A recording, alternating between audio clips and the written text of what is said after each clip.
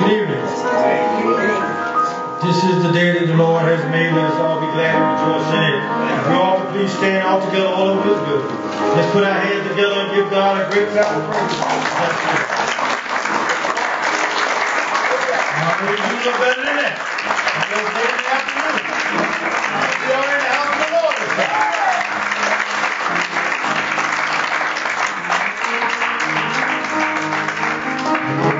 amen. Uh, to the United Christian Missionary Baptist Church family and to Pastor Becton, uh, we give all glory and honor this evening for bringing us together one more time to talk about the armor of God. Because we look around what's happening in this world today, there's some armor that needs to be put on. Because the, the world and our communities and our churches are under attack. It's time, it's time for us to fall down on our knees and begin to pray and call out to God. Uh, it's just that time of the year, just that time. So if we would, we're just not going to prolong this any longer. Uh, it's place for a song here, but uh, if we could, uh, does anyone has a song in their heart uh, that they would like to sing uh, to lead us as a congregation to sing this evening? Anyone has a song? So I'm Mr. Music, he's a little. What a mighty God we serve. What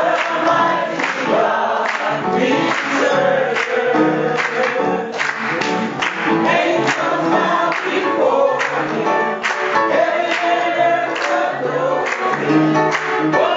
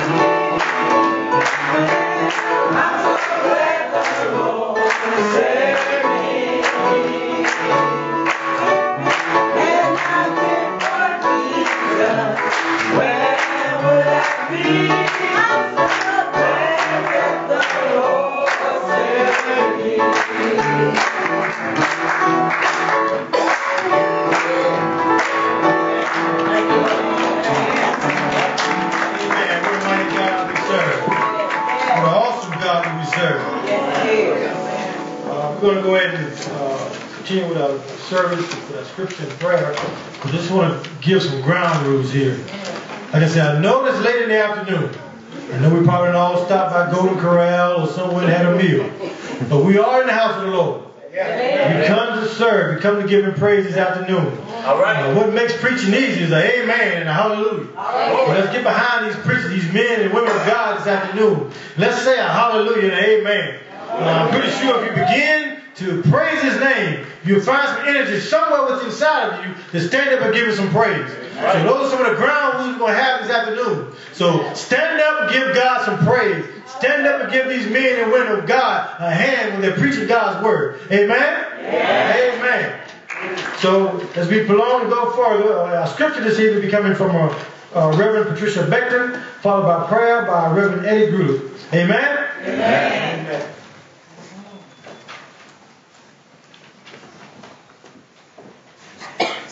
Praise the Lord. Thank you. Praise the Lord. You come from Ephesians chapter 6. I found it beginning of the the afternoon. Ephesians 6, starting at that 10th verse.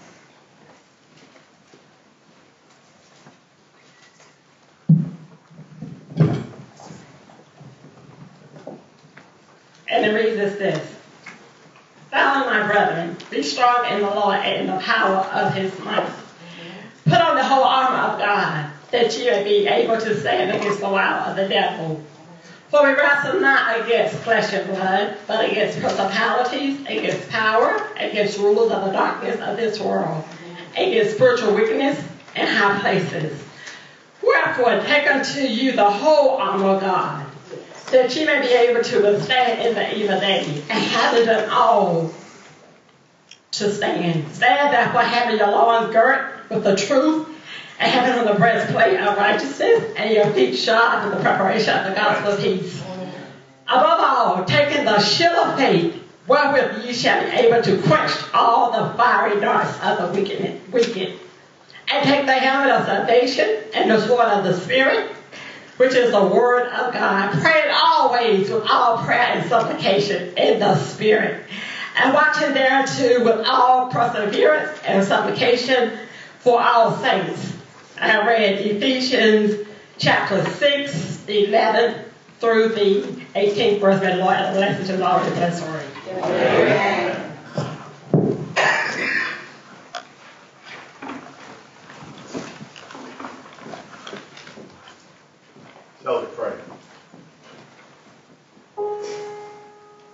Father, who art in heaven, Yes, Lord.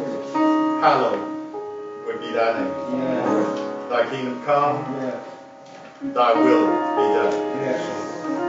Father God, we come once again with all our hearts, bow down heads, mm-hmm. mind and heart focused upon thee, Yes, Lord. For Lord, we're looking towards thee, Lord, for we know that all help comes from thee. And we come, O Father, word of thanks.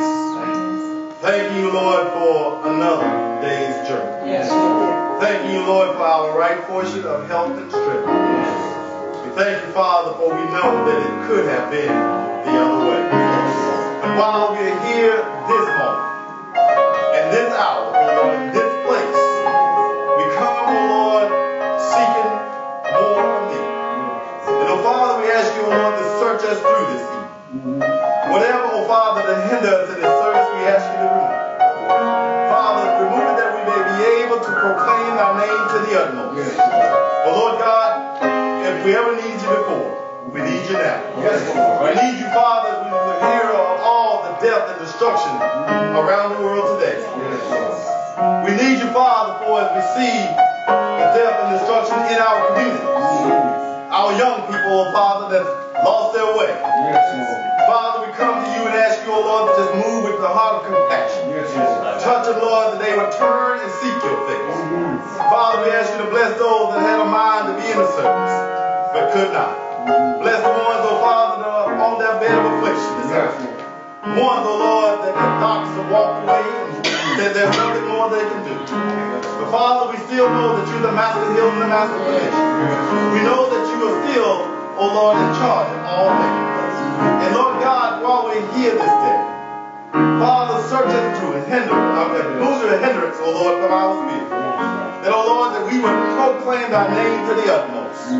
That, oh Lord, set us upon hollow files, oh Father, that we will rejoice in thy word.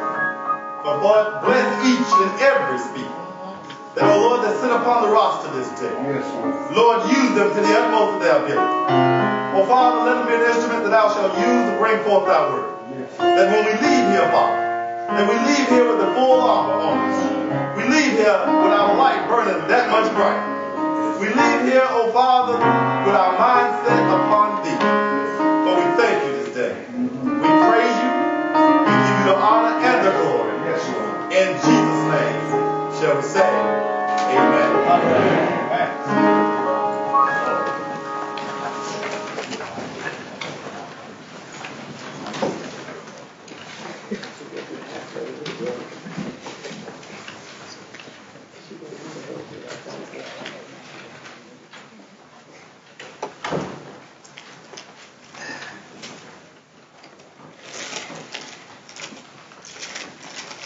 now it's time to part of service where we have a welcome here.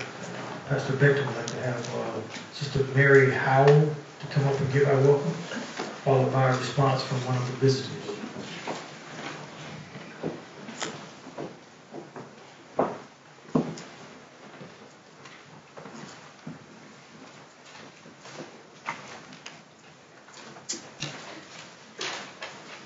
Good afternoon. Good afternoon. We here at United Christian Missionary Baptist Church would just like to welcome you all here this afternoon to join us for putting on the full armor of God so that we may be able and fully equipped to go out into this world when we leave this place to conquer our enemy.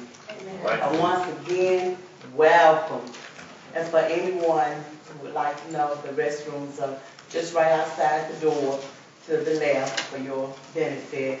And if you need anything, we have an usher on the floor, so, um, please, uh, feel free to use her.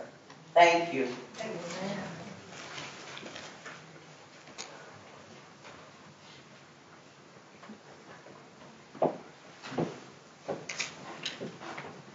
Praise the Lord, everybody. Praise the Lord. Praise the Lord, everybody. Praise the Lord. Praise the Lord, everybody. Praise the Lord. Amen. Amen. That's the. It's good to be in the house of the Lord. It's always good to be in the presence of the Lord. Almighty God. Amen. Because without him, we would not be here today. Amen. Yes, sir. Will he deserve the honor and praise today? He deserves everything today. Everything. Because without him, he would not be. Amen. But I do feel welcome, you welcome when we go up on the ground.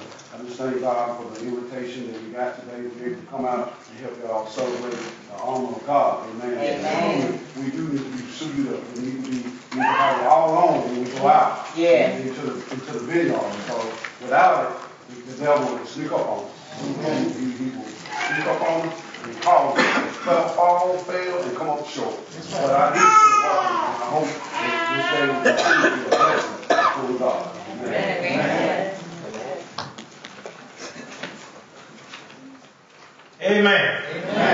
We've had our welcome and we had our response. Now it's the time for the preached word. Now it's time for the preached word. I gave you some ground rules before. I don't have no problem reminding you that we are in the house of the Lord. Uh, we, we, we're here. And, uh, and I'm also instructed to let you know to the, to the preachers here this afternoon that each of you have seven to 12 minutes. Ten minutes. 10 minutes. 7 to 10 minutes for your word. 7 to 10 minutes for your word. Amen? Amen. So let's do this. If we all could please stand to our feet. And with your blessed right hand, if you would, come toward this, this pulpit, please.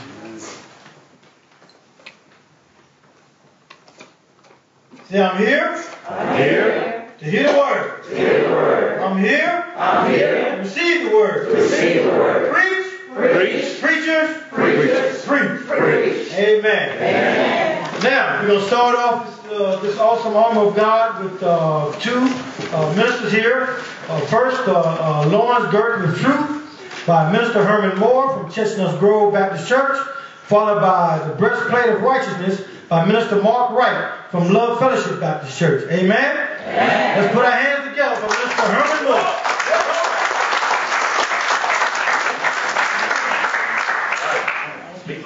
Good afternoon, church. First, give honor to my God, who is first in my life. I thank Him for blessing me to be here today. I thank uh, Pastor Quintis Becton for this opportunity. And I'd like to thank my pastor, Norman, Reverend Norman Cooper, for being here, and all the other pastors on, And I'd like to acknowledge my wife, who is also here with me.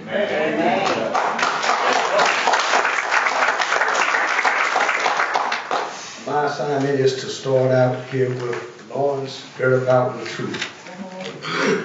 Now, when we say our loins, we're talking about the lower part of our bodies, from our waist down to probably about right below our, uh, right above our knees.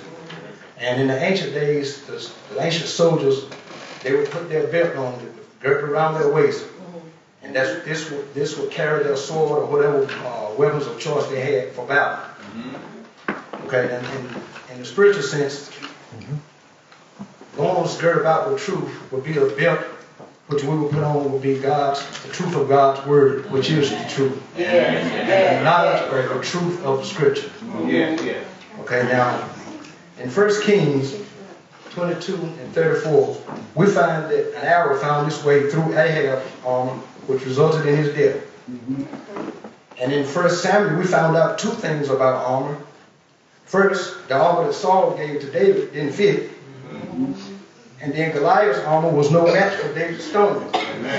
Which might lead us to, to say, why put on armor? Mm-hmm. Well, the battle that we have to fight does not call for imperfect, faulty armor, for physical battle, such as that of Ahab, Saul, or Goliath, mm-hmm. but for the perfect spiritual armor of God's word, which is true, and the knowledge and the truth of, of Scripture. Amen. Amen. Mm-hmm. So I stand before you to tell you about having your learn, loins girded about with truth Yeah. in our message, the whole armor of God. Yeah, yeah. Now, to have your loins girded about with truth is what all the other pieces of spiritual armor are built or based on. Yes. And it, it is the Word of God. And when to say girt, it means to have it encamped all about you Yeah. at all times. We should carry the Word of God in our hearts at all times. Yes. And it means having an unchanging relationship with God. And it allow and to uh, to always be prepared with God's word in our heart. Mm-hmm. So if asked the question, why do you have faith? Or why do you have hope? We can give them an answer. If we got the word of God in us and if we trust in God. By abiding in God's truth and the truth of God's word, we can stay free from the enemy's lies and deceitful doings. We should always be, we should be aware of our surroundings and always be on the lookout. Always be on the lookout for the enemy. First Peter 5 and 8 says, Be sober, be vigilant, because your adversary, the devil, as a roaring lion, walketh about seeking whom he may devour. Yeah. Yeah. However, through faith and obedience to God's word, which is true, mm-hmm. we can defeat the devil. Say that. If you read Matthew 4, 1 through 11, you'll see where the devil tried to tempt Jesus with lies and half truths many times. Mm-hmm. Yes. But when faced with the perfect truth of the scripture, the devil had to flee every time. Oh, yeah. Yeah. Yeah. Oh, now, being girded, Christians being girded about with truth, this upsets the evil spirits, which in, which in turn brings on spiritual war, warfare against the, church, brings on spiritual warfare between us, the church, between demons, fallen angels, and the devil himself. So we have to remember to pray without ceasing, because the devil will attack again and again. To have your loins girded about with truth is to be of integrity, honesty, genuine, and sincere before God and others. Matthew 5 and 16 says, Let your light so shine before men that they may see your good works Yeah. and glorify your Father which is in heaven. Yeah. Yeah. To have our loins girded about with truth, we must study to show ourselves approved of God. Yes. and be studying and be steadfast and unmovable in His Word. Right, say that. Church, I stand before you to let you know that if we don't keep our loins girded about with truth, we are in danger of being bound and confined by the evil, by the enemy's evil doings and deceitful ways. Yeah. Yeah. Yeah. So we have to continue to call on the name of Jesus and Yeah. continue to pray. And we have to continue to believe and know that to believe is to have trust and faith in God. Oh. John 8, 31 and 32 say, Jesus said, If ye continue in my word, then are ye my disciples indeed, and you shall know the truth, and the truth shall make you free. God's word for God's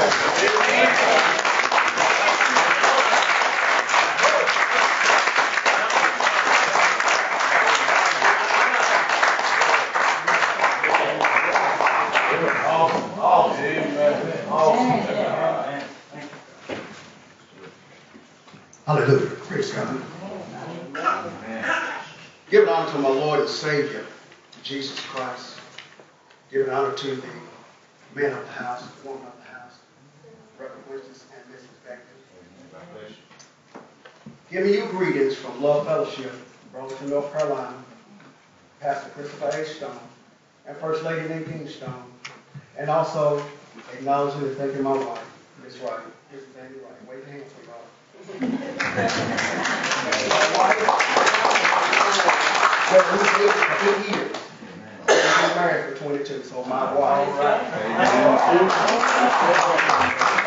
thing that my wife noticed that when we come in today was the sign. And behind Ephesians 4, 16 through 11, using all parts to make the whole. Yes. Just as the body of Christ has different parts and come together as one unit, Yes. so does the whole armor of God. Yeah. It has different Yeah. functions, Uh-huh. but it all comes together for one purpose. Yeah. Yeah. What is uh, the breastplate of righteousness? What good is a breastplate? And more importantly, What does it have to do with righteousness? Well, let's find out. The second piece of, the armor Paul mentions in uh, 614 is the breastplate of righteousness. And I want to share something with you right here. It says, a lesson from ancient Israel provides an ironic example of just how important armor can be. Perhaps you may recall the cowardly and capricious life of King Ahab, which he mentioned before. But how did this evil king's life come to an end? This selfish leader who allowed a man to be killed just so he could have his vineyard. 1 mm. Kings 21. Mm. This king of Israel, who did evil in the sight of the Lord more than all who were before him. 1 Kings 6, 16 and 30. Mm. God had prophesied that Ahab would die in battle in 1 Kings 22. So Ahab decided to disguise himself. Why would you think you can hide from God? While his ally King Jehoshaphat of Judah wore his own kingly robes. Mm-hmm. Their enemies had ordered their captains, fight all fight with ones small or great. Yes. Don't fight with one small or great, but only the king of Israel.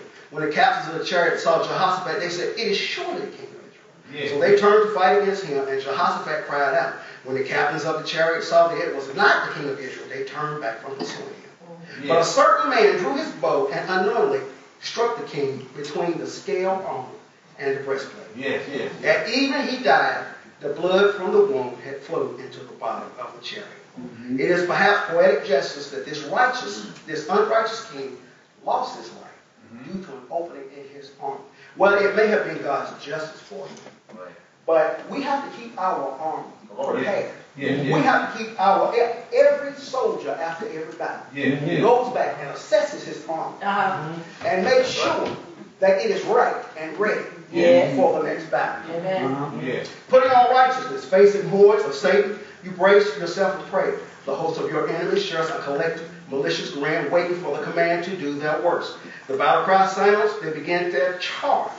You tighten your grip on your sword, raise your shield, weapons begin swinging, the unrivaled fury, you do your best to parry an onslaught. Mm-hmm. There are too many weapons to block. Eventually you watch one of your opponent's sword begins making a clean arc that continues right past your shield, your shield and towards your chest. You brace yourself, preparing for the worst, expecting your quick demise, watching the weapon move ever closer to you as time slowly slows to a magic crawl. Waiting, waiting, then plunging. The reverberating noise of the sword strikes your breastplate with a, uh, pierces the air. Shaking your head in disbelief, you look down to find that the breastplate of righteousness stopped the deadly blow in its tracks. Delivered by righteousness and with renewed vigor, we plunge back into the fight. Mm. So we have to keep our armor Yes, Right. yes. right. Yes. Yes. Glory. In our lives, we have had many claims. Mm-hmm. We have had many darts Yes. to bounce off our breastplate of righteousness. Uh-huh. Uh-huh. Oh, yes. When we almost was hit by a car in our uh-huh. finances, in our life, and in our marriage. If the breastplate of righteousness is snugly set and we wrap ourselves in it, Mhm. all the darts will back off. Oh, yeah. Yes. That's. What's the purpose of a breastplate? The breastplate was a certain part of the Roman's armor. It provided protection for the torso, which contains vital organs like the heart, lungs, and so on. Without a breastplate, a soldier would be asking for death, as, as any attack could constantly become fatal, could instantly become fatal. With a, with a sturdy black breastplate, the very same attack becomes ineffective and useless as blows glance off our armor. So we have to continue to stay wrapped in that righteous armor. Why is, why is righteousness associated with the breastplate of armor? Proverbs 11:4 says, riches do not profit in the day of Uh-huh. but righteousness Right. delivers from death. And we will be delivered from death Yes. as long as we have that breastplate of righteousness. Uh-huh. Without righteousness, which is the key, we leave ourselves open to almost certain death. With righteousness, just as with the breastplate, the otherwise faithful attacks of our enemies are thwarted. God has given us this for our protection. Yes. He has given us this for the battle that we fight, the spiritual battle. Yes, yes. And let us not become complacent with the armor that God has given us and ask Satan, hey, come on, punch me in the chest. Mm-hmm.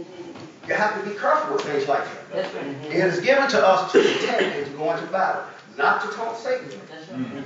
What is righteousness? I like that. Psalms 119 and 172 says, My tongue shall speak of your word, for all your commandments are righteous. 1 John 3 4 says, Whoever commits sin also commits lawlessness, and sin is lawlessness. You have to wear a breastplate of righteousness but have a sinful life? Mm-hmm. It won't work. All right. It won't fit. All right. To be righteous is to do what is right in God's eyes. God's commandments are righteous. In contrast, lawlessness is sin, and sin is the opposite of righteousness. So to be righteous is to obey God's law. Yes. What separates us from God? Causing him, causing him to withhold his protection. Isaiah 59, 1 and 2. It says, Behold, the Lord's hand is not shortened, that he cannot save, nor his ears heavy, that he cannot hear. But your iniquities, our iniquities, have separated you from your God, and your sins have hidden, and you have, eh, and your sins have hidden his face from you, so that he will not hear. You. So as we walk into sin, as we if we walk into sin, we may well not have the because we have the protection. God will not hear us. Iniquities of sin are actions and thoughts that go against God's law, since they are in conflict with God's way of living and are harmful to ourselves and others. Our perfect and just God will not associate with us if we go down the path of sin and evil. We cut ourselves off from God's protection. So without God's protection, we don't have the breastplate of righteousness. Now, whose righteousness should we be wearing?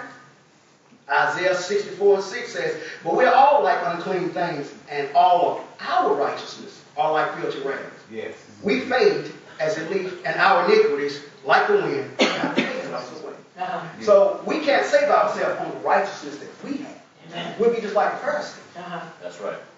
And some of the ways that I have lived my life before coming to God and thought I was right, nah. Oh, my God. You know, me and my wife have a saying, it's just something about burning forever. It just don't set me up. Mm. It is God's righteousness and not ours, which must serve as our breastplate and defense against Satan. Mm-hmm. Now, how to get righteousness? Abraham's faith, which was shown by his doing what God had said, it was accounted to him as righteousness. Okay? Now, how do we wear our breastplate of righteousness? Therefore, take up the whole armor of God, mm-hmm. that you may be able to withstand in the evil day. And having done all to stand. Isaiah 59 and 17, Redeemer of Zion, and when you get a chance, read it for yourself. But it talks about how God Himself dresses up and the whole armor of God, just as He has given the armor of God to us. Mm-hmm. He dresses up to do battle. Okay? And the last point, praise God, once we have put on the breastplate of righteousness, we must be sure not to remove it. Ezekiel 33 and 13 shows that wearing righteousness is not a one-time event. Rather, it requires a lifetime of. So we can't just put on the whole armor of God and just walk off the beat. We have to uh-huh. constantly work on our righteousness. We have to constantly stay in the will of God because Satan is constantly bombarding us all kinds of arrows Yes. and darts trying to tear our, tear our life, our family, our house, finances down.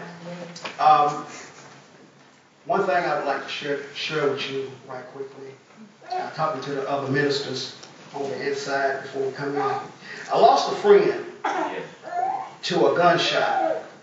And I come in one day, and my mom was sitting reading the newspaper. And she said, yeah, she said that was him. And when I looked over her shoulder, my body kind of chilled and hurt. I seen where one of my friends had been shot. And the study of it was alcohol, misuse of a firearm, and they had a bulletproof vest and was playing with it. And somehow or another, he had it on backwards, or before he could get it on, he fired the gun. Christian friends, let us use the armor of God All right.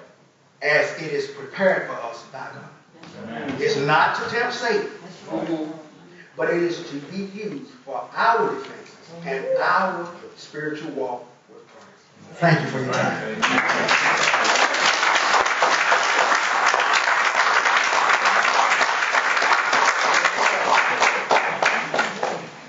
Amen. Two awesome words truth. It's an integrity and honesty. God's word should be all around us at all times. And the breastplate of righteousness. We ought to obey God's laws.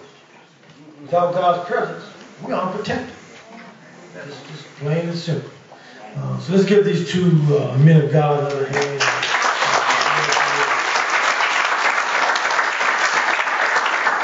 Now we have a selection of songs followed by offering offertory prayer. Um, so real quick, if you would, um, go back in time for a minute. Y'all, I know a lot of you all know this song. Uh, so just join right in.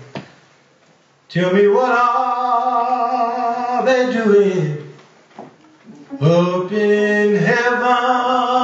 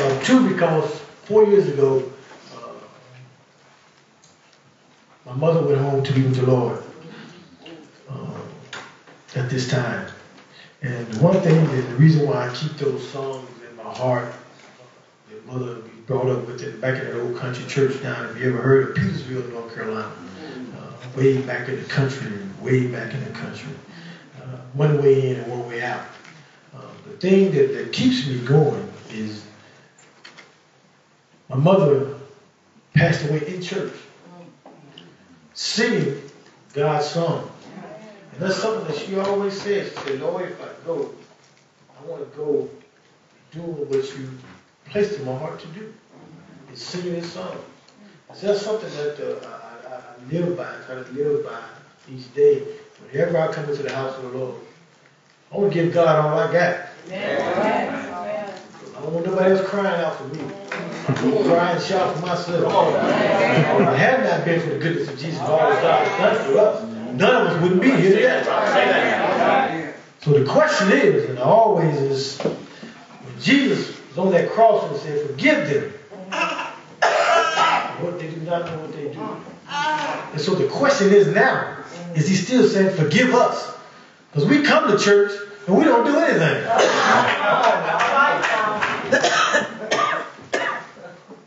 Because we had not been for him on that cross and shed his blood, Yeah. Time to get up. Old folks say, time is winding up. Uh, move on now uh, with the offering. Uh, Lord Pastor Pittman has come to do the offering and uh, follow the offertory prayer by uh, Reverend Beck also. Uh, so it's time for everybody to take part. Amen? Amen. Now let's give God a round of applause.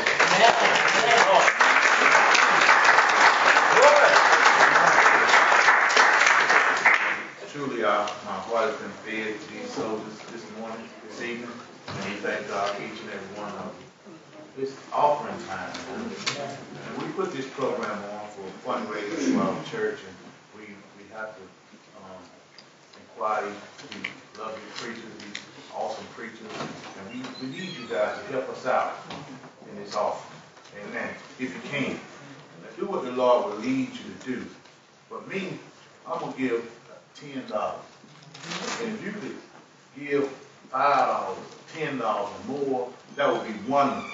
But I'm gonna give ten dollars plus. And I'm gonna ask you guys to come and follow along with us. Give, help us out. Amen. This is a fundraiser. Help us out. Do what the Lord, do your best. Do what the Lord has um, blessed you. Give us a percentage it. Amen. Amen. Amen. We're gonna need some singers in there too. I see some singers in here that we're gonna need to come and help us and sing and a couple songs. What up here? Sister Peggy, Sister. Uh, So we're gonna ask the ushers to come forward as you guys begin to get a song in your heart and think about the song you want to sing. Awesome.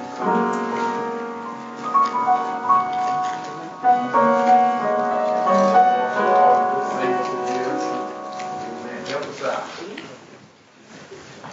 Let the church say amen. Let the church say amen. Let the church say amen. Under the direction of the usher, uh, after the pulpit, could you please bring your offering forward?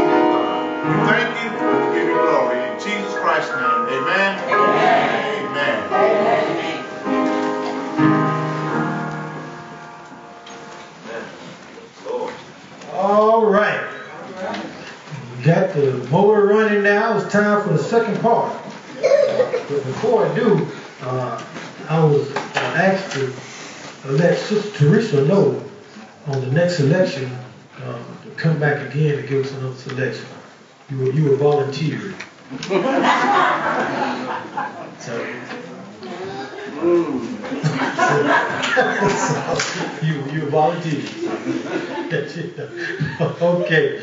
Now, uh, get ready for two more uh, preachers to come and to give us another awesome word. Uh, uh, the Gospel of Peace, Reverend Victor Stephen from True Faith Fellowship Baptist Church, uh, followed by the Shield of Faith, Reverend Anita Docher from Lakeview Baptist Church. Amen? Amen. Let's put our hands together for our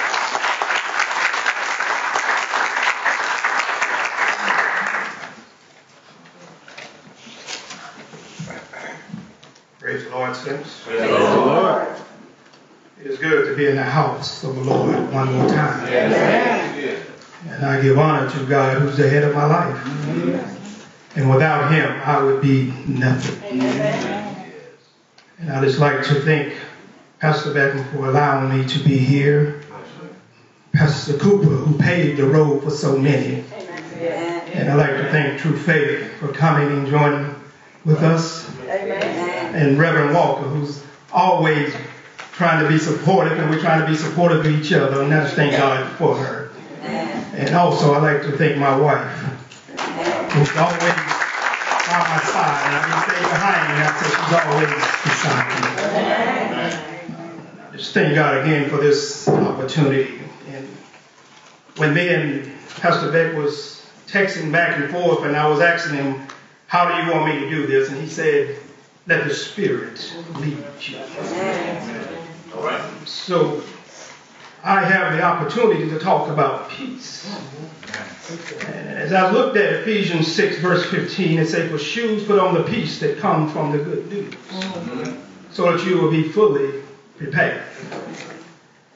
Uh, and then I said, if I had to use for a topic for this day, I would use Jesus will give you peace like no other. After you put on the armor of God and prepare for battle, you will need to stand on solid foundation. Right. Uh, before moving into battle.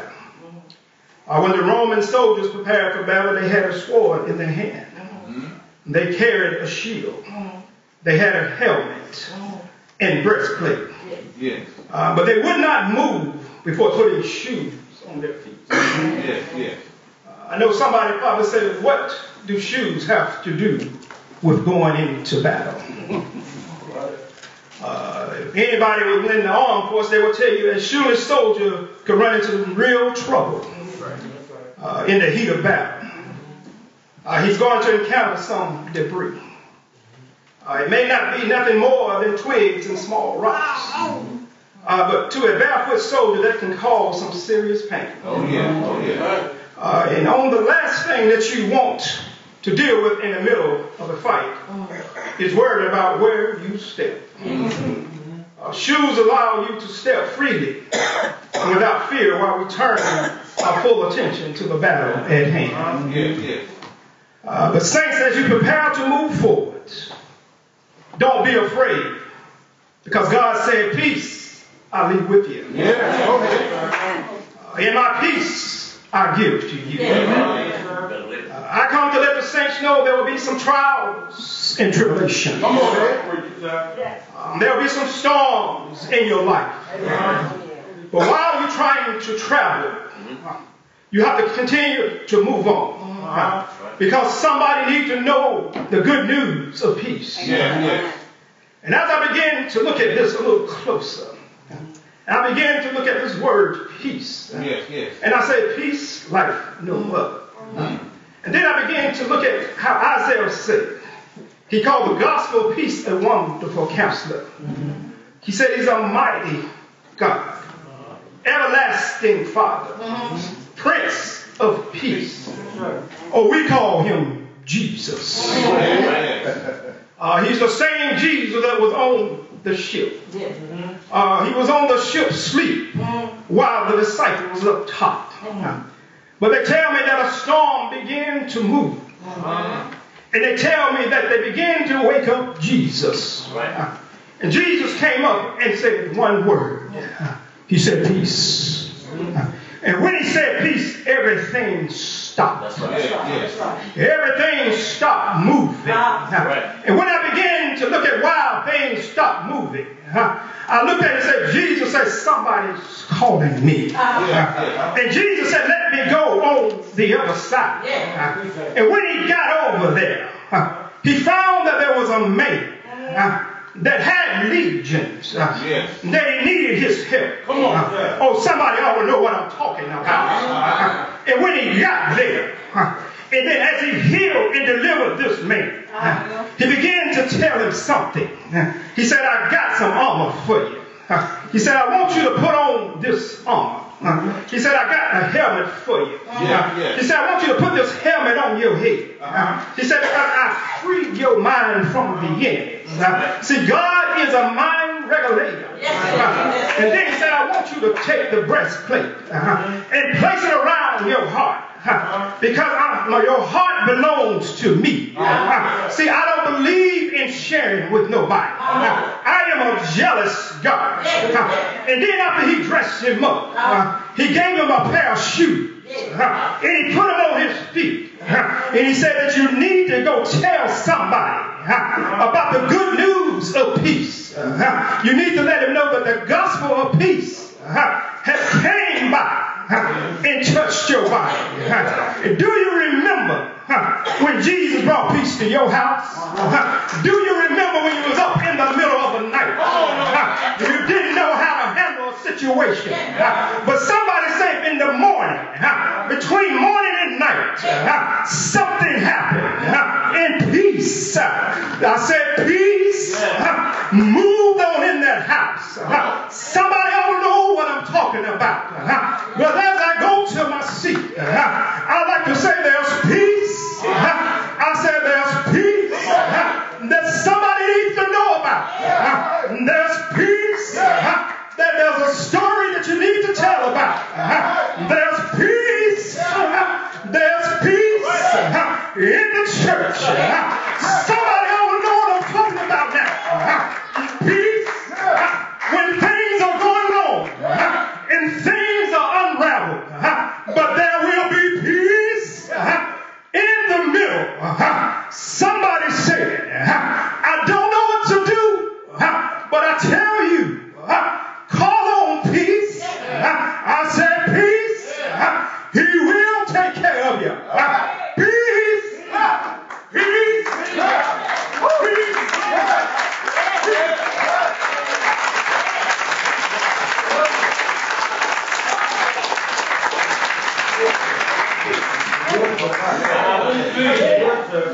Oh, yeah.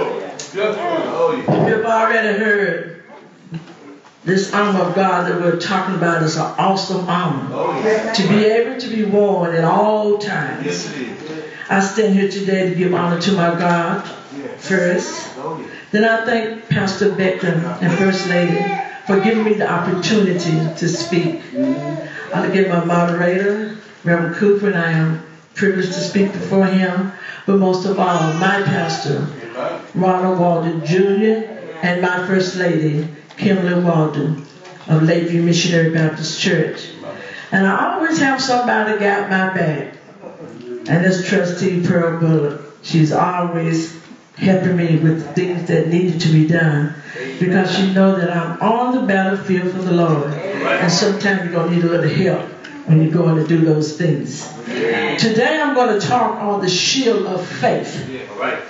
Yeah. Ephesians 6:16 says, "Take up the shield of faith, with which you will be able to extinguish all the flaring arrows of the evil one." And when I looked at that, and I thought about a shield. Uh-huh. That's something to cover you up.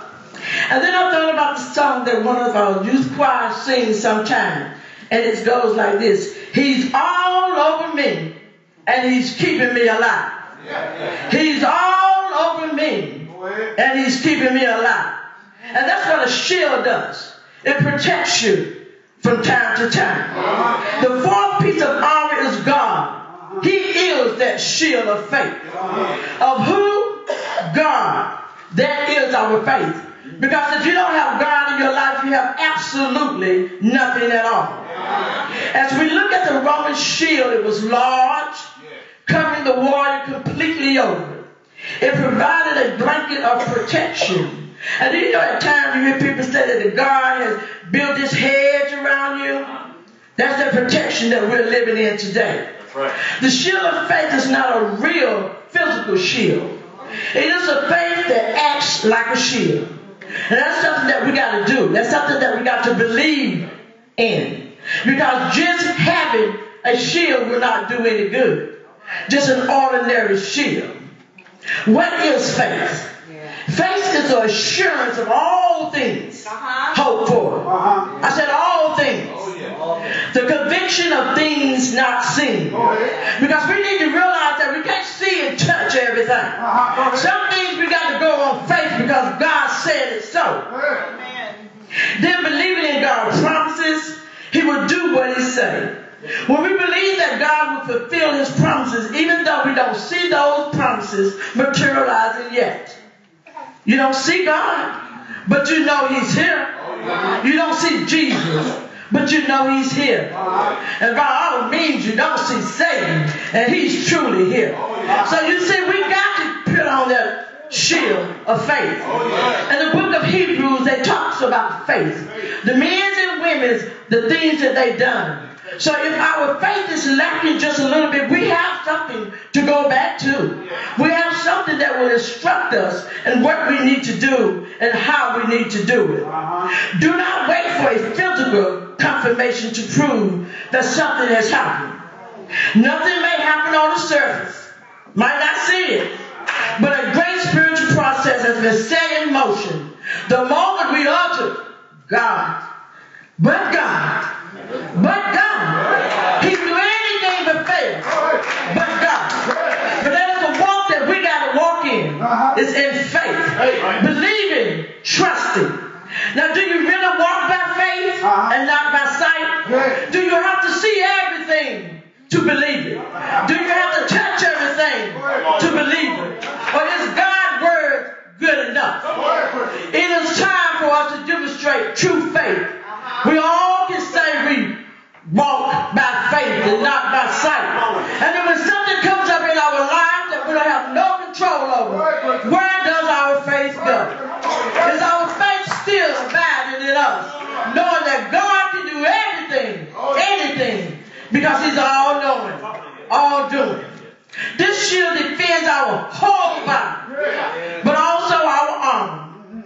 He's all over me, and He is keeping me alive.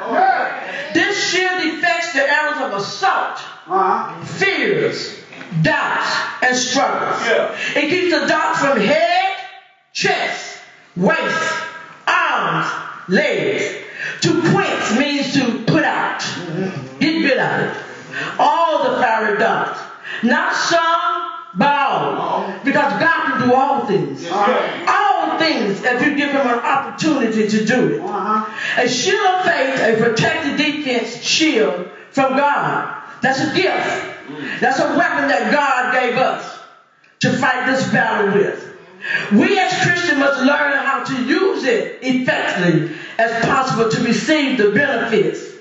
There's no need in having something that you don't know how to use. Yes, yes. Know that the size of the shield is not that important than the understanding the faith of the shield. Oh, because it can be a very small as small as a mustard seed, and it still deliver what the Lord says. And then it can be as tall as this building, and if you don't know how to do it, it means absolutely nothing.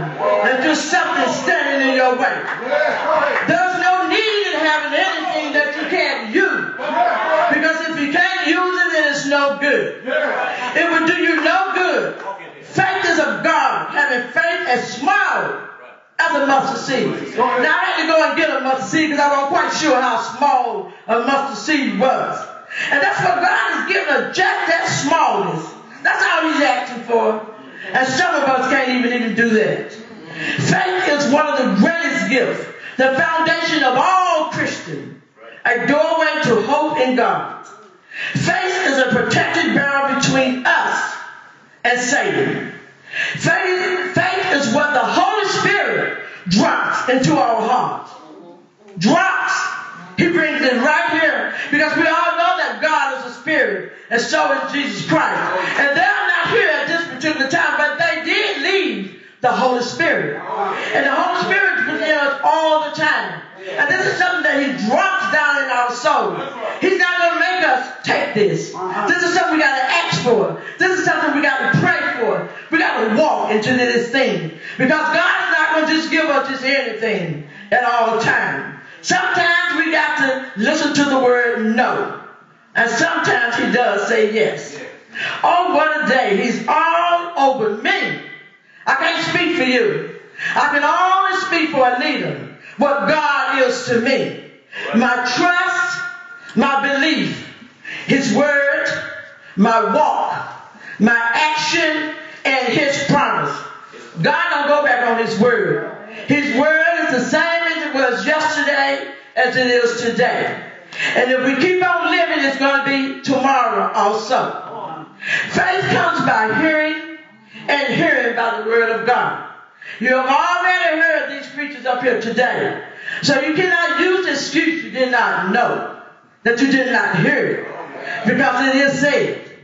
Faith in God and His Word can effect the impossible. Yes. God can do anything. Yes. Absolutely anything. Yes. What you believe frees God to release His power, protection, and blessing, and is needed to fit our situation. Because we as Christians, we have different situations. All our situations are not the same. I might share one situation that you do, and you might share another that someone else does. But because God is an all-seeing and an all-knowing God, He can do any situation in which we come in contact with. As a Christian, it is made to be worn in all circumstances, taking up the shield of faith. That's not something that you put down and you get up every morning and put it back on. You got to go to bed with it on. You got to rise up with it on. And we know as this world, we got to keep this on because our job, our communities, there's always somebody out there that want to steal you away from God. Because you know, the Satan only wants us. He don't want the ones out there in the world because he already have them. So he got to busily work on us. And that's why we got to keep our shield up at all times. Being able to duck here, stoop down there, stand up, whichever way you need to go. But you got to be able to use it. Satan attacks in forms of insults, setbacks, and temptation. You know those things that you did back in the day that you don't want nobody to know? Satan already know about that. And he constantly trying to tempt us to go back to that. We need to exercise our faith because faith saves, it justifies, it stabilizes, and it strengthens us. Hebrew 10 and 23rd, I took this from you, Pastor.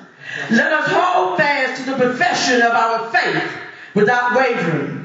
For he is faithful that promise. With God perspective, we can see beyond our circumstances and know that ultimate victory is God. So, as I leave you today, I expect you to continue to wear the shield of faith.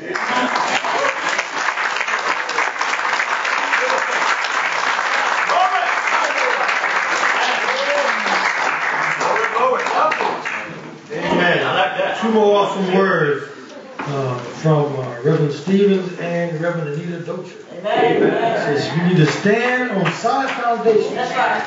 and tell somebody about the good news. And he said, peace that we need to know. Then the shield of faith said, things hoped for. To believe in his promise. Even though we don't see it, we still need to believe. That's right. That's right. But then she said, not only talk about faith, but faith needs to be seen in us and through us. But then she said, faith comes by hearing. And I like this.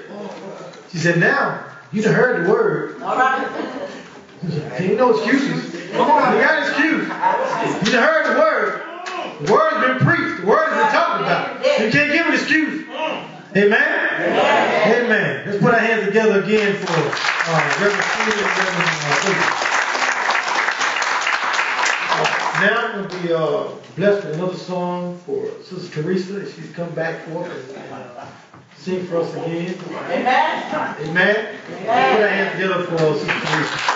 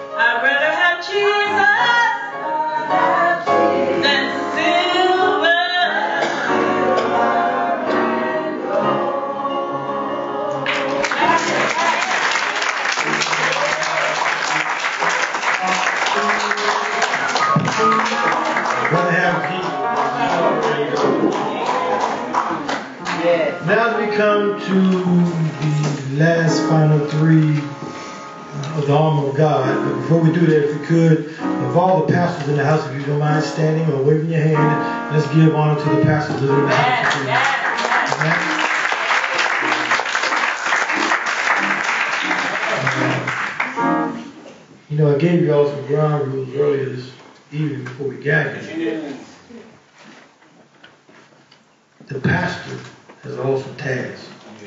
When you're sleeping, your pastor may be praying for you. Huh? While you're sleeping and running around, your pastor is somewhere studying the Word of God to bring you a message on Sunday morning. When you're sick in your hospital, your pastor may be coming by to see you in your hospital. Your pastor has an awesome responsibility. So I say again, let's give our pastors another hand.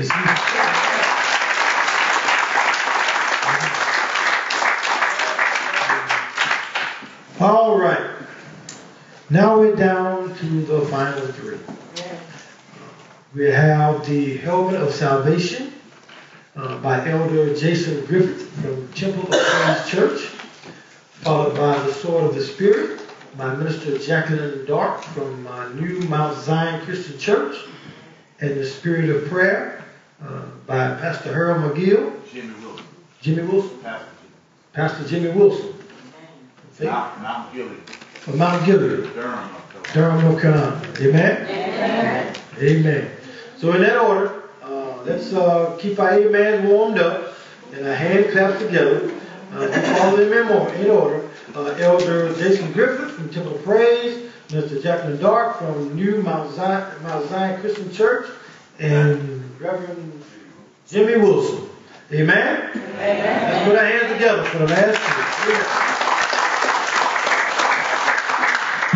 Amen. The psalmist David declared, clap your hands, all you people, then shout unto God with a voice of triumph. Amen. That the Lord is in this place today? Amen. Amen. We ought to be glad about that. Amen. Praise the Lord. Praise the Lord. I'd like to give honor to God today. Amen. And I'm glad there's a clock on the wall because my wife said she was going to be, be looking at me, amen, to, to shut me down, amen. So we're going to be obedient to the house, amen. And I would just like to give honor to all these awesome preachers up here, amen. I have thoroughly enjoyed myself thus far. Amen. I'd like to give honor to my brother in Christ, the angel of this house, Pastor Lamont Becton, and his lovely wife, Patricia Becton, amen. Give them a hand clap amen. Would my wife please stand up? Emma Griffith. And had a, a guest to come and met from uh, New Bethel Baptist in Roseville, amen. You surprised me, amen. Amen. Praise the Lord. Amen. As, as I was asked to uh, about this assignment on the uh, the helmet of salvation, amen. You know, I have preached out of Ephesians on several occasions and taught out of this, this book and this text. But God began to deal with me uh, about the helmet, amen. And He began to speak to me specifically about the helmet. Amen. And He began to give me revelatory knowledge about the helmet in the late night hour. Yeah, yeah. And as a matter of fact, it kept me up several nights. And you know, we're in the season when the leaves change. Uh-huh. And, and when the when the when the air starts to change, amen, and the elements start to change outside. Yeah, yeah. And has your mother or your grandmother ever told you, put something on your head before you go outside? Can I talk up in here? Put something on before you go outside because you know you know you might you might get sick as a dog. Have you heard that before, saints? Yes. Amen. So we're in that season, amen, where you need something on your head. Yeah, yeah. And that's the topic of my message. Put something on your head before you go outside. Can I talk up in here? Amen. I feel something up in here. Amen. Amen. Amen. Praise the Lord. And starting from uh, book of Ephesians, chapter 6, and it says here, chapter um, verse 17, and take the helmet of salvation and the sword of the Spirit, which is the word of God. Yeah. All right? Uh-huh. Now, there's all types of helmets, amen. How many ever played football in here? Raise your hand. That- That's all they play football? all right. Amen. I was a football player, amen. So the football helmet could, could perhaps protect you from a concussion, amen. Amen. I rode a skateboard. Skateboard could, you know, you fall down, bust your head, hey, skate, helmet on your head. Amen. All types of helmets, amen, that protect you from different types of elements, amen. Yeah, yeah. Amen. But it's something about the helmet of salvation taking on God's gift to us to be saved. Oh. Can I talk up in here? Amen. And you know, God began to tell me a lot of people are taking my salvation, my helmet of salvation, put, taking it, putting it on and taking it off. Putting it on and taking it off. Putting it on and taking it off. Putting it on and taking it off. Y'all don't hear me. Amen. And, and you know, there's the, the Romans had two types of helmets. there, there was a type of helmet that they went into battle with that, that was that was with leather and, and, and different um, things that hung down from it to protect the, the, the warrior's head. And then there was a decorative helmet, amen, that was made of brass and silver and gold trim and all this. That was that was meant to, to, to be in a parade, amen. Amen. Amen. And the Lord began to show me that, you know, a lot of people in the church, amen, choose the helmet that, that you, that you wear in the parade. All right. Come on. You want to parade around, and you want to look flashy. Come on, somebody. And, and- and you want to play church. Yes. I've been there. Amen. You want to play church, and you want to wear the fancy hat. You're not ready for battle, amen. You, you don't want to put on the helmet that when you, when, you, when you go into warfare. Come on, somebody. Amen. And, and, and the Lord keeps saying, why do you keep putting on my helmet of salvation and then taking it off? I died on Calvary's cross. They hung me up and I stayed there.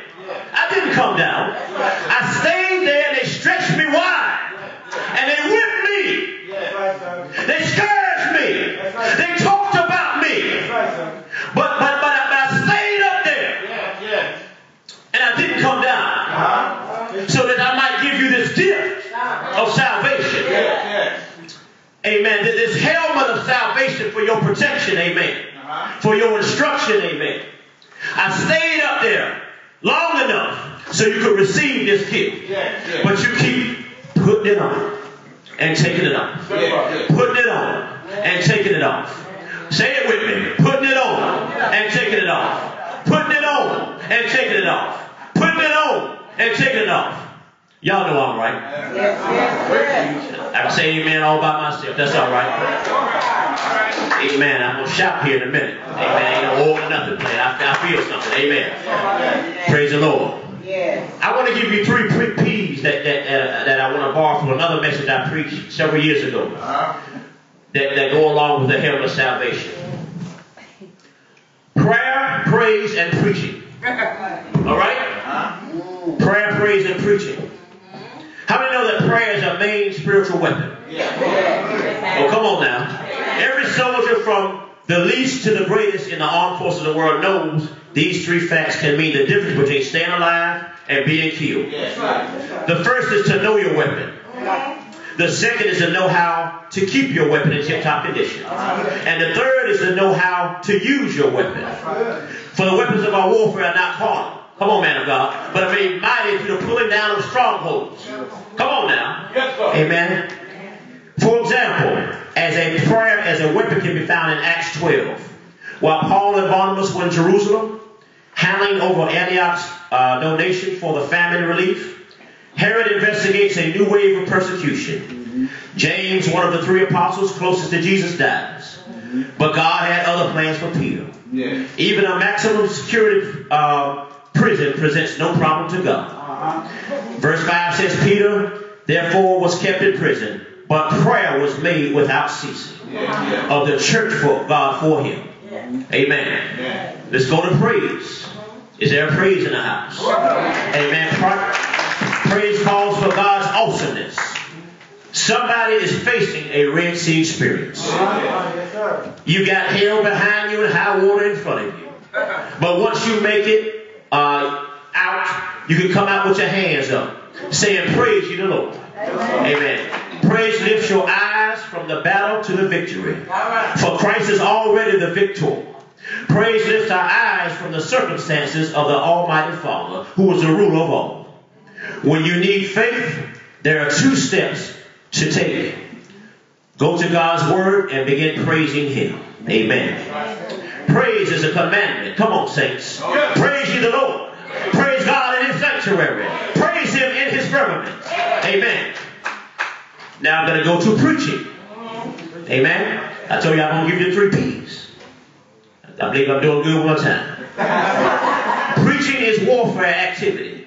And when we let go of preaching, we are losing the battle of Satan.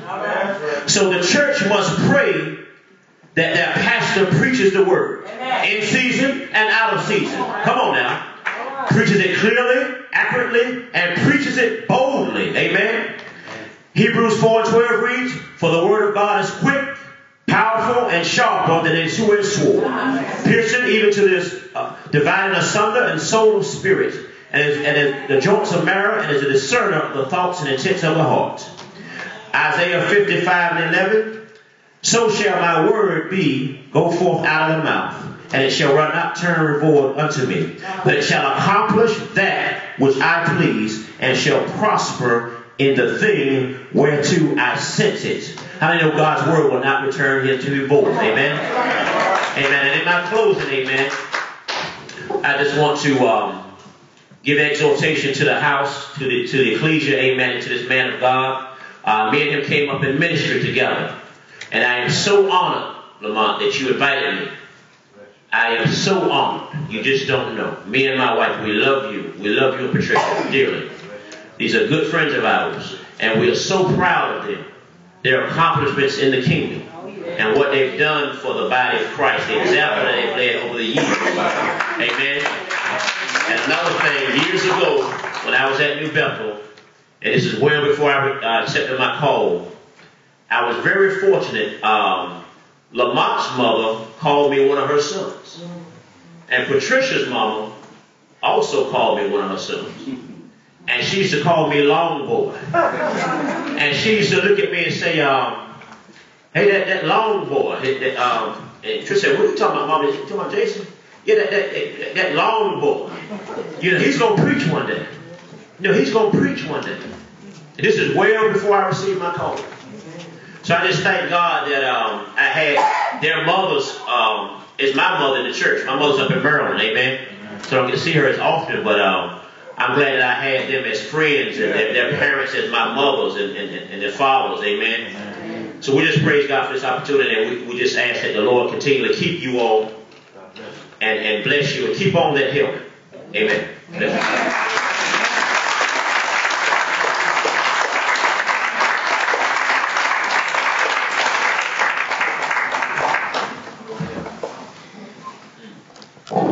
Praise the Lord, everybody. Hallelujah. Yes. I count it a privilege and the honor, amen, to come out and speak, amen. Amen. Thank you, Reverend Becton and First Lady Becton, for inviting me, amen. I truly honor God today. I honor the um, pastors, elders in the pulpit, and my brothers and sisters in Christ, amen. Amen. But how many truly believe? How many really realize that we're in a war? Amen. It's not a natural war, but it is a spiritual thing. Amen. For we we wrestle not against flesh and blood, but against principalities, against powers, against the rulers of darkness of the world, against spiritual wickedness, wickedness in high places. Amen. Amen. Amen. Hallelujah. So I have the privilege of speaking on the sixth piece of the armor. Amen. Paul lets us know that we have to have the full armor of God on. Amen. To, to be able to stand against the wiles of the enemy. Amen. We all know according to scripture, amen, that the spirit is the word, the armor is the spirit of the word of God. And a lot of times we use things and we say things so haphazardly, amen, but do we really understand what is really going on? Amen. Hallelujah. So the Spirit, the Word of God, is an offensive and a defensive weapon, amen, that the Roman soldiers used and the warriors. So we have to learn to hide the Word in our hearts, amen, root out the sin and strengthen our inner man with God's promises before the enemy attacks, amen. So offensively, we are to use the sword to attack and counterattack an enemy, amen, until he is wounded and killed. Defensively, it helps the soldier deflect, means to bounce or ricochet, amen. The enemy's blows, amen, and his lies and his doubt. So the Roman soldiers had two types of swords, amen. And some of y'all Bible scholars may know how to uh, pronounce it, but amen. But I'm going to go on and say what I think it says, amen. but it was a Romathea. And basically, it was a heavy, long um, sword, amen. And that was kind of hard to fight in the battle, amen. You got you can't hold your shield and hold this heavy sword, amen. So they used something called a matira, and that was a short sword, amen. It was easily to maneuver quickly, amen. So we understand that the sword was a vital piece in the Roman army, amen, for our armor, amen. So the prime example when Jesus was attacked by Satan in the wilderness, he spoke the word to him and the enemy had to flee. He didn't reason with the devil, amen. He responded, it is written. Check the book in Matthew 4, amen. Submit to God, resist the devil, and he will flee, amen. A lot of times we use part of the scripture, we say resist. No, you have to be submitted unto God, amen. This word work if you're not submitted to the will of God, amen. So Jesus is our model to follow to attack the enemy. His word is a lamp unto our feet and a light unto our pathway. The enemy's job is to cast doubt on the truth of the word of God. But as believers, we are not only to speak the word, but the word has to become a part of our and take root in us. Amen. Hallelujah. Hallelujah. In order to be effective in the kingdom of God, we have to begin to speak the word. Amen. The word is life. Amen. And without the word, we are just existing. Amen. But it is time, it is time to live, men and women of God. Hallelujah, hallelujah. So many of us as Christians, amen, we neglect the word of God because we're so busy with our own lives, amen. We have to get to the point where the word is first priority in our life. And it has to take precedence over everything else. God is calling his people to come up higher and allow your mind to be fused with his mind, to become one with him, not of the world system. Amen. Some of us are walking double minded. Amen. We're calling on him and we're talking about him. Amen. But our hearts are far from the Lord. Amen. Hallelujah. Hallelujah. So he is our source and our God. Amen. So now for us, the sword is a spiritual sword, not a physical sword. Amen. The sword comes from the spirit, but it is the word of God. I leave you with this. The time is now to learn the word of truth. Not what we feel. Amen. Not what we think and, not your opinion. Amen. But what the Lord is saying in his word. Amen. We can't take nothing from it nor add anything. Amen. Hallelujah. It's not about man's philosophy. Amen. But it's about the wisdom of our living God. God is holding us accountable if we don't hearken to his voice and study the word. Amen. We have to show ourselves approved. Amen. We want to talk about the pastor that brings the word. Amen. But you have to realize that you have accountability the Lord yourself. Amen. Hallelujah. Hallelujah. So God is saying, I'll be your God if you'll be my people. Amen. So brothers and my sisters of Christ, he loves us and he wants us to fellowship with him like Adam did in the cool of the day. Amen. So we have to begin to understand that when we come in the house of the Lord, don't take it for granted. It is a privilege. Amen. To come before the King of Kings and the Lord of Lords. Amen. And we have to give honor where honor is due. Amen. And he's looking for people to worship him in spirit and in truth. Amen. Hallelujah. So we can't take our salvation lightly. Amen. But there is power in the word of God. Amen. And we have to learn to call on the name of Jesus while he may be found. Amen. Hallelujah. Hallelujah. So whatever arises in our life, amen, we have to begin to take the sword to fight the enemy. Amen. I don't care what you think about me because if amen, try to look the part. Amen.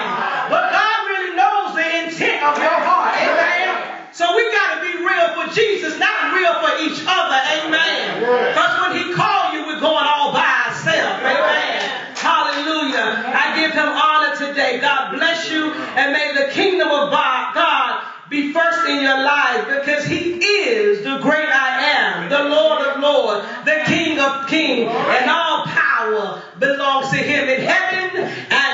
Amen. Blessed be the name of the Lord.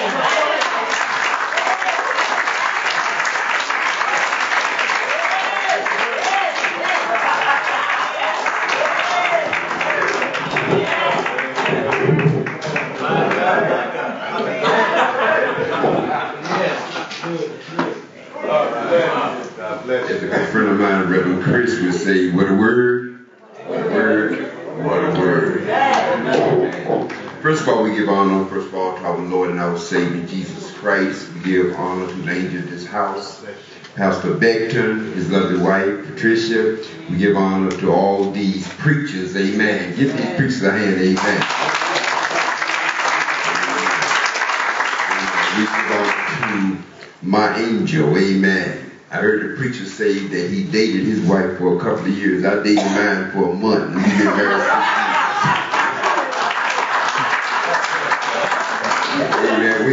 baby. Amen. Amen. We just bless God. Amen. We thank Teresa. Amen. She always telling me when I go somewhere not the same. So I told the preacher, I said, have Teresa say, therefore I don't have to say. Amen. Amen. We're not going to hold you, amen. We just praise God and we've enjoyed ourselves just being here. We thank Pastor Becton, amen. Amen. For allowing us, amen, to stand where Pastor McGill, amen, supposed to be standing, amen. Amen. The Bible tells us we should always be ready, amen. Amen. So we just bless God. Amen. We're talking about the whole armor of God. Although all these great preachers have talked about the six pieces of the spiritual armor which Paul mentioned, we still have a very important piece that nobody spoke about. How many of you know today that we are in a spiritual warfare? How many of you know that Satan is going throughout the world seeking whom he may kill and destroy? How many of you have heard about the shootings that have happened in Paris? Uh-huh. So my brothers and sisters, we are in a spiritual warfare. And although many people think when we think about the whole arm of God in these six pieces, when we think about the weaponry of this whole arm of God, we think about the sword of the Spirit. But my brother and sister, there's another weapon that's just as powerful. Uh-huh. Another weapon that may be more powerful than all six of these weapons together. Oh, See, the reason most people don't consider this weapon to be part of the spiritual arm is because Paul didn't mention it as a visible piece of the Romans armor. But I stopped by to tell you today that we got to have prayer. And therefore, my subject today to you, there is a secret weapon. See, you can have on the whole arm of God, but you have to have prayer in your life. So you can put on the helmet of salvation. You can put on the breastplate righteousness. You can have your feet shodded with the preparation of the gospel. But I stopped by to tell you that none of these things are going to be any good to you unless you have faith. And faith come by the word of God. You gotta have prayer in your life. See, there's a weapon that the Romans they use all kinds of weapons. They use the battering ram. They use the catapult. They had spears. They had bows and arrows. But sometimes they train their horses to use their hooves. See, any military person will tell you that no matter what you're going through, no matter what the warfare that you're in, you always want to outsmart the enemy. So you gotta have a secret weapon. And our secret weapon is prayer. See, I wanna let you know the enemy, he can counteract any military weaponry. He can counteract your sword. He can counteract your bow. He can counteract your, your helmet. They have bullet pier- piercing bullets now. So he can get through your prayer set, your breastplate of righteousness. But I stopped by to tell you that if an enemy, he can't do nothing with the power of prayer. See, Paul, if I believe if Paul was Paul would tell us that you got to have a prayer life. See, so many saints of God, we only call on God when things are going bad in our life. I'm when 9-11, folk were praying for everyone. And I stopped by to tell you, since the shooting in Paris, folk have been praying. But what about when things are going good? What about when your pockets are full? What about when your health is good? You need to give God the praise. If we pray, when we pray to God, we are communing with God.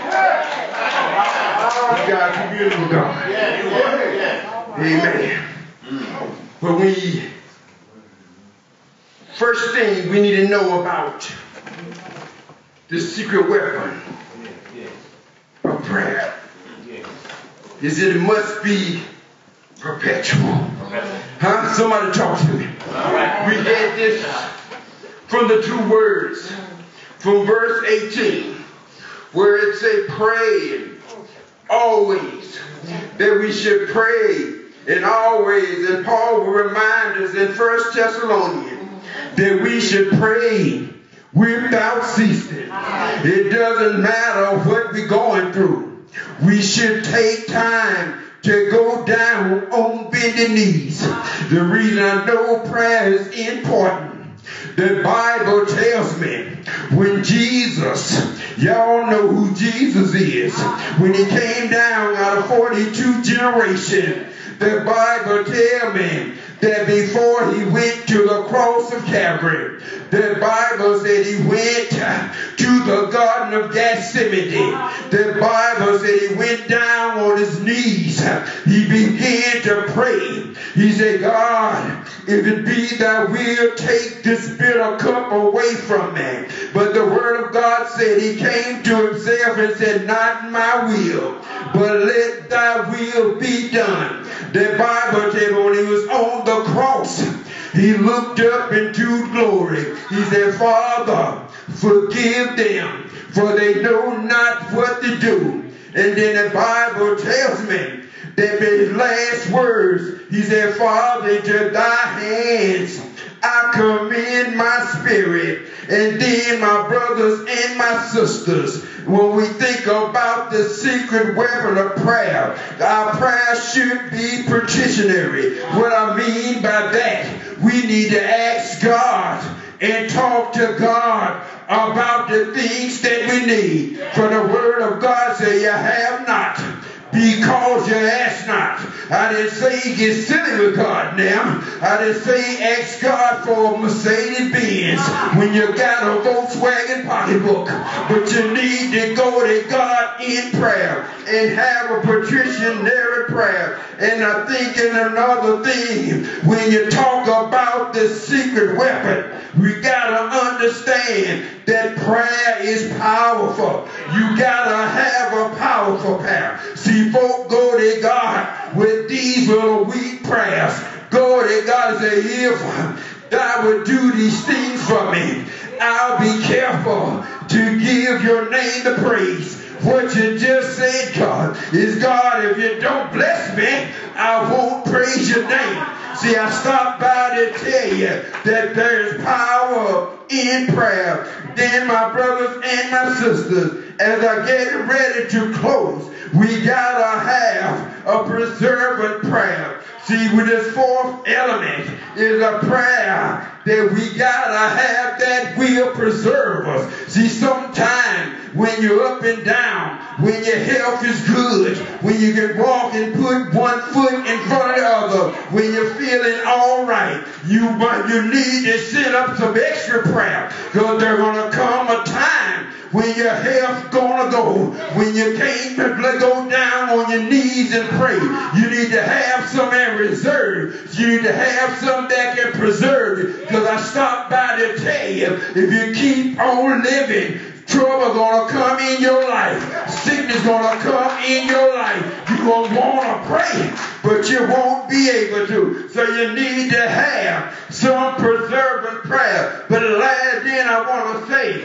that not only that, but you gotta have a purposeful prayer. What is a purposeful prayer? A prayer that means something. See, too many of us pray these nonchalant prayers. We pray because uh, that's what we heard somebody else say. But I stopped by to tell you, when you're talking to God, you need to have on your spiritual armor. You need to talk to God like you're talking to somebody important. God is not a plaything.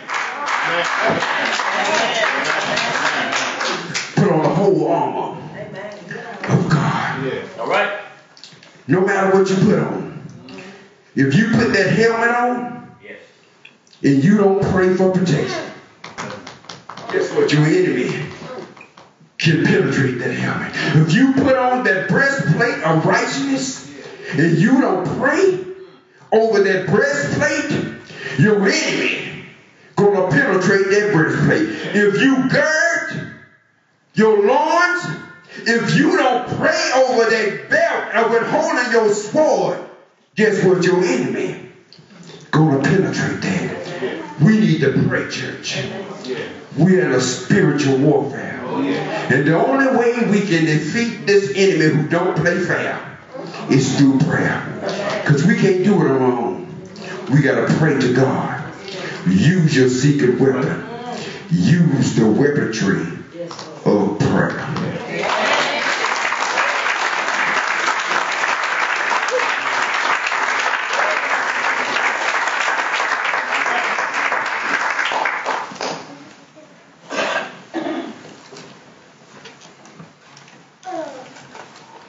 Uh, just a reminder uh, before. Uh,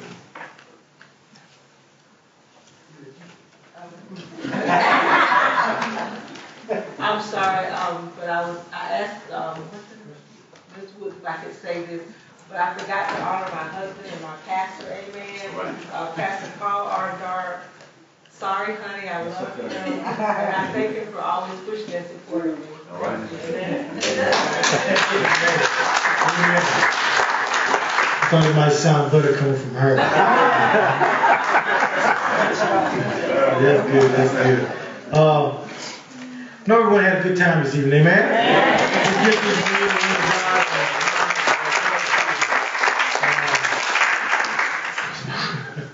Uh, Elder Griffith, uh, he said, uh, we church folk wear a helmet and we put it on, take it off. Put it on, take it off. Sounds like the Bible. We take that Bible, leave it here on Sunday, and throw it in the back window. Throw it over there in the closet, get get dust built on it. Then, you ever roll behind somebody and you look in the back window and see the Bible and just uh, turned up? that Bible's been back there for a while. Uh, I didn't use that Bible. And he said, uh, don't let go of preaching. Preaching has changed. The souls of people are crying out to hear a word of God. It's uh, not about scratching the itchy ears and giving you something to make you feel good just for a minute, but give them some, some solid foundation as these preachers have did for us this evening. Uh, and then my sister said, uh, offense a defense to attack, to defend off the enemy. She said, we need to submit to the word of God so that the word takes root in us. We need to be accountable ourselves. Not worry about the person sitting next to us. We need to be accountable for ourselves. God knows our intent. That's what my sister said. Uh, and also, my brother said, we're in a spiritual warfare. There you go. And uh, we have a secret weapon. We just need to use it. That's right, that's right. He said, what good is it to put on the armor if you're not praying? You just you just you just put something on. So we need to pray, fervent prayer. Teach our children to pray right now because as they go to school daily, uh, they're always under attack. There's something that's always uh, that's always uh, upon them. But teach your children to pray. Uh, again, uh, Pastor Becton, I thank you uh, once again to be able to come out and be uh, the worship leader for this service. Uh, Sister Becton, I love you too. Uh, my mama, I love you too, dear. I pray for your son because I know he gets a little hard sometimes. but I love my man. He's, we've been friends for over, wow, 12 years or better. he's always had a heart of giving. He always had a heart of prayer. Uh, uh, whenever that I know that I need something in prayer, I always count on uh, Brother Becton to do that. So, uh, man, I love you, man. Uh, really love you. Uh, again, I say it's time to go. Let's give these preachers another hand. Uh, now we have our closing remarks from our Reverend uh, Quintis Becton, the angel of this house. Amen?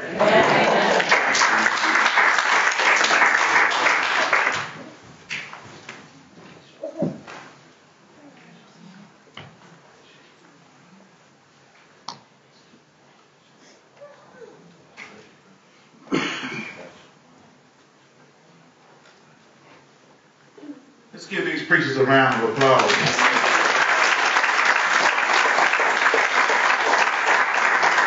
Now I'll give you guys a round of applause.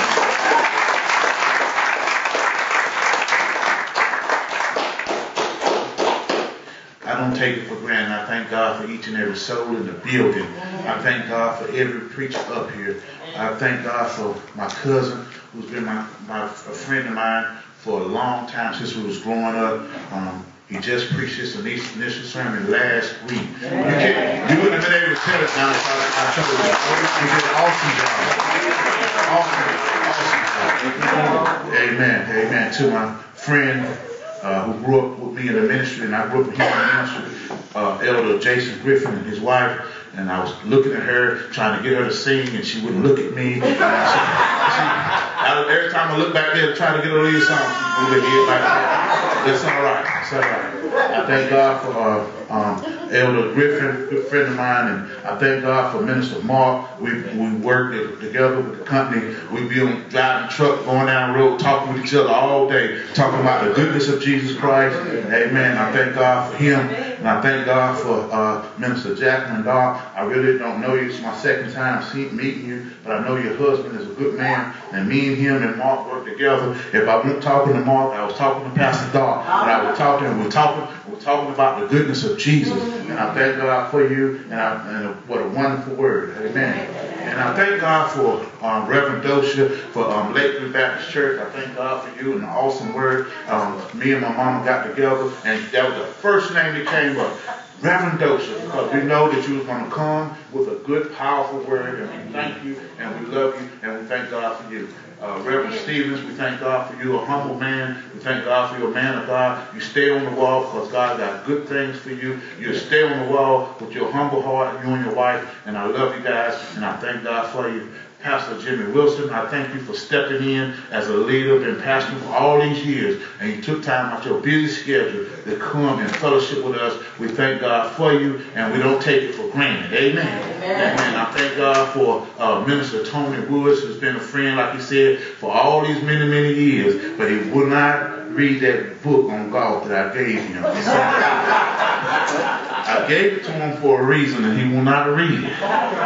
But I thank God for him. He's been a good friend of mine, a good spiritual leader, and as a good mind uh, dancer. I thank God for a good preacher. Amen. Amen. When, I'm, when me and my wife go on vacation, I, I get with uh, United Christian Missionary Baptist Church, and the first name I tell her, I said, Minister Woods, come in and step in for me when I'm not here. Amen. I thank God for Minister Perry. I, I text him, and he said um, he would come and play when the choir back got on me. I thank God for him, and we prayed that, that, uh, that your voice and your, your, your, your sickness, your cold, whatever you're going through, will, uh, will, will we, we plead the blood of Jesus and healing spirit come upon you. And y'all didn't get to hear him sing today, but he has an awesome voice. I thank God for I'm trying to go just as quick as I can with this. I thank God for all the pastors. My pastor, Pastor uh, Dog, Pastor Cooper, uh, Lakeview pastor is here. I think I think Lakeview pastor. He, he's probably gone. But uh, if any pastor have a word that they want to want to say, we give leeway for you right now for a pastor, any pastor that have a word they want to say, we give leeway for you right now. Amen. Amen. Pastor Dog, Pastor Cooper, any pastor. Amen. All right. All right. Amen. Pastor Cooper, my pastor. Amen. We're going to ask him to get ready to close us out in prayer. Amen. And um, my mother, who um, now I will say this right quick. Now there's two women on the program. It would have been three, but my mother, I thank God for her. She wanted to have surgery. Lord have mercy. God bless her. God bless her. And we stood right there with her uh, doing her surgery. We thank God that she's able to be here. Amen.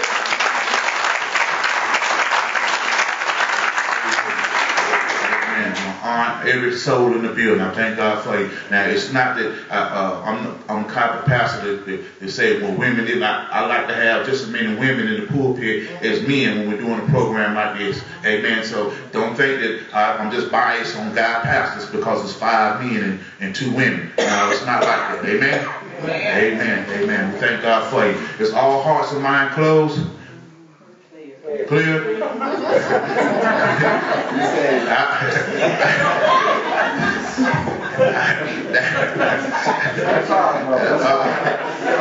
I was just thinking about Mr. Woods over here. I know his mind is closed, and I was just thinking about him. I, was, I don't feel that spirit over there. I said, well, I know his mind closed, but all hearts and mind clear. Amen, amen, amen, amen, amen.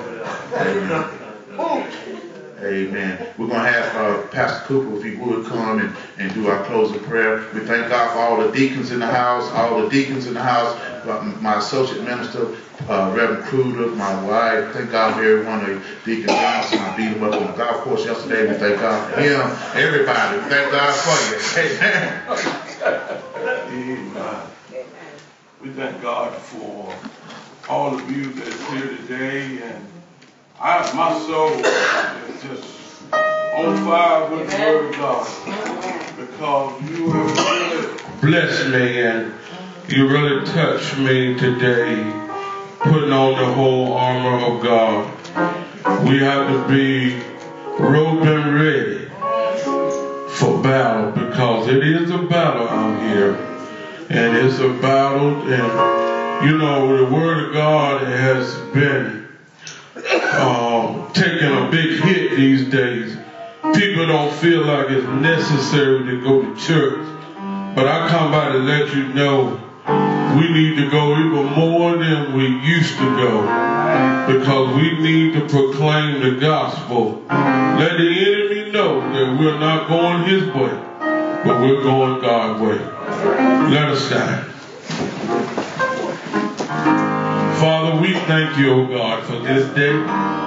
We thank you, God, for what our eyes have seen and ears have heard. And, oh God, we give you all the honor. We give you all the glory.